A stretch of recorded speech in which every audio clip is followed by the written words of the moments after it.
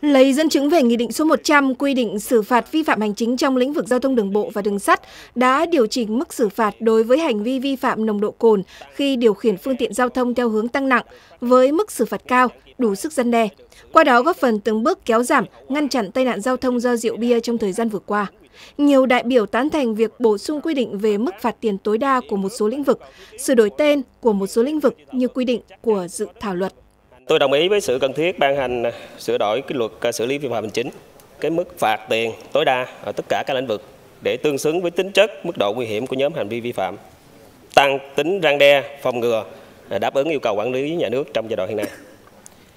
Điều này thể hiện rất rõ khi chính phủ ban hành Nghị định 100 như vừa qua. Đồng thời phải đảm bảo được thực hiện nghiêm nguyên tắc mọi hành vi vi phạm hành chính phải được phát hiện, ngăn chặn kịp thời và phải được xử lý nghiêm minh mọi hậu quả do vi phạm hành chính gây ra phải được khắc phục theo đúng quy định pháp luật. Việc là khi chúng ta tăng nặng hình phạt và xử lý nghiêm minh thì cái tính răn đe cũng như là cái khả năng giáo dục đối với người à, thực hiện thì nó rất là cao và được nhân dân ủng hộ. Tuy nhiên, một số đại biểu cũng cho rằng cần phải ra soát, đánh giá toàn diện các lĩnh vực đề xuất tăng mức xử phạt, bởi tại một số lĩnh vực, nếu tăng mức xử phạt quá cao sẽ không đảm bảo tính khả thi.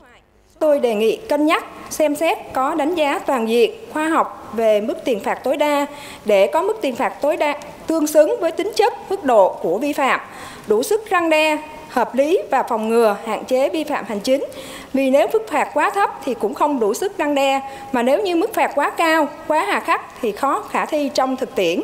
Một số ý kiến đề nghị không nên sử dụng phương pháp liệt kê các lĩnh vực cần nâng mức xử phạt tối đa trong dự thảo, bởi sẽ dẫn đến bỏ sót các lĩnh vực. Việc liệt kê chi tiết nên quy định tại các văn bản dưới luật để có thể điều chỉnh linh hoạt tùy thời điểm và tính chất vi phạm. Cũng theo đại biểu thời gian qua, vi phạm trong lĩnh vực hôn nhân bạo lực gia đình có dấu hiệu gia tăng. Trong khi đó, nếu quy định mức phạt là 30 triệu đồng như dự thảo luật chính phủ trình thì chưa đủ sức dân đe. Đề nghị chính phủ nghiên cứu để tăng mức phạt trong lĩnh vực này.